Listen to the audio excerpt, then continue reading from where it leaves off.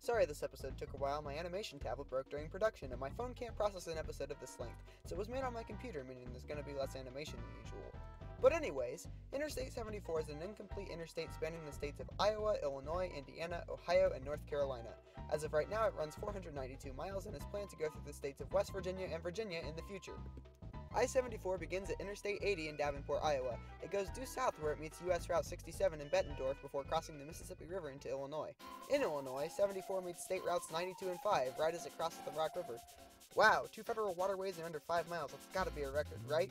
Anyways, 74 turns east as it becomes concurrent with Interstate 280. A few miles later, Interstate 74 meets 80, where 280 ends, 80 continues east, and 74 turns south as it becomes the Chicago-Kansas City Expressway. 74 then has exits with State Route 81 in Andover and State Route 17 in Woodhull. In Galesburg, 74 has a cloverleaf interchange with US Route 34, where it leaves the Chicago-Kansas City Expressway. It has a few more exits before meeting US 150, its twin route. Every interstate has what I like to call a twin route. A twin route is the US highway that used to exist before the interstate came to take its place. 74 then has exits in Brimfield and Kickapoo. It then meets Illinois Route 6 and I-474 in Peoria. In downtown Peoria, 74 catches the routes of Illinois State Route 29, Illinois State Route 40, US Route 24, US Route 150, and Illinois State Route 8. 74 meets I-474 again and I-155 in Morton, where 74 leaves the Peoria area. 74 then has exits in Goodfield, Carlock, and Newton. In normal, 74 turns south and becomes concurrent with Interstate 55, nearly missing I-39.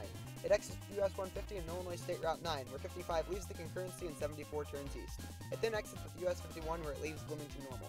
74 exits with US 136 in Empire and Illinois Route 54 in Farmer City. It then meets Illinois 47 in Mahomet and has a cloverleaf interchange with Interstate 57 as it enters Champaign.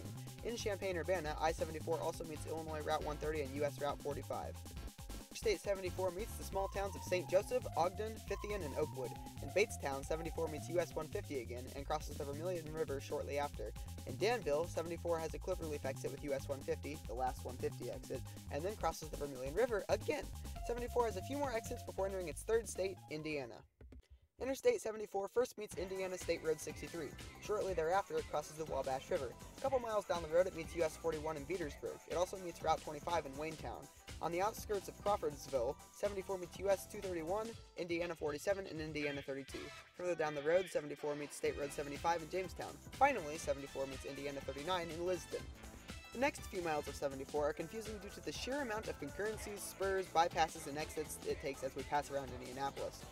First, 74 meets Indiana Route 267 in Brownsburg. From here, 74 turns south as it begins its concurrency with I-465.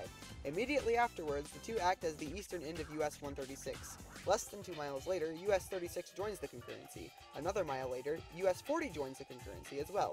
So let's review. We have I-74, I-465, US 36, and US 40, all on the same road, and we aren't even one-fourth of the way around Indianapolis yet.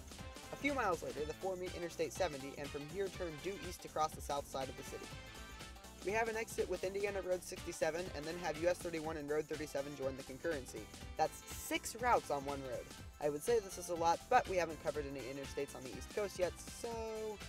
Anyway, the 6 meet Interstate 65, and a few miles later, 74 leaves this mess of a concurrency, picking up US 421 to join it as well. The two leave Indianapolis and meet roads 9 and 44 in Shelbyville. From here, US 421 leaves the concurrency in Greensburg, where 74 meets Indiana Road 3. In Batesville, 74 meets State Road 229 and then meets State Road 1 in St. Leon. 74 crosses the Whitewater River and becomes concurrent with US 52, where the two continue into their next state, Ohio. I-74 and US 52 enter the town of Harrison, Ohio. From here, they become concurrent with I-275 and cross the Great Miami River in Miamitown. I-74 leaves the concurrency and exits in a few Cincinnati suburbs before ending at Interstate 75. Thanks for watching and be sure to- WAIT! Wait, that's not all! Since North Carolina seems desperate for interstates, 74 means a new beginning at the Virginia-North Carolina state line. 74 begins on a concurrency with Interstate 77, though 74 breaks it off before the two can actually have an exit together. In White Plains, 74 exits with US 601 and then ends again at an exit with US 52. You're gonna see this a lot. Interstate 74 in North Carolina isn't complete yet, which is great news for me. It means I get to do this episode again later. So there's lots of random ends and begins.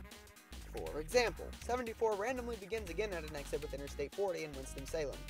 From here, it meets State Route 68 and Business Interstate 85 in High Point. It then meets the real Interstate 85 Down the road, it starts a concurrency with Interstate 73, the other in progress interstate in North Carolina.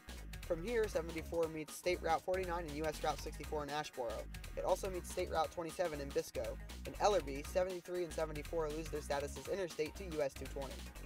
74 begins for its fourth and final time in Alma. It is concurrent with US 74 all the way through Lumberton, where it meets Interstate 95. Finally, 74 ends at an exit with North Carolina Route 41 in Lumberton. Future plans for 74 indicate a concurrency and eventual complete takeover of US 74 throughout southeastern North Carolina. From what I can tell, this means 74, both interstate and US route, will end in Wilmington at Interstate 40. Thanks for watching, and be sure to be notified when I release the next episode of Interstates, which will be the end of Season 1.